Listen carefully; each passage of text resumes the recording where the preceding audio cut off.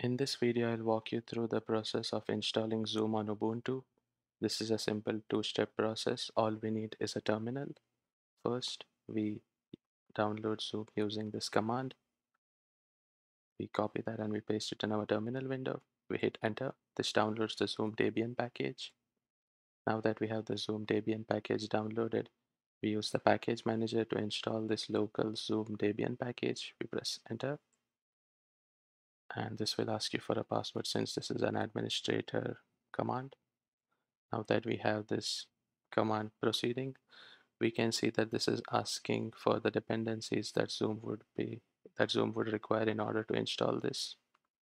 We press Y and we hit enter. Now this downloads the downloads dependencies necessary for Zoom.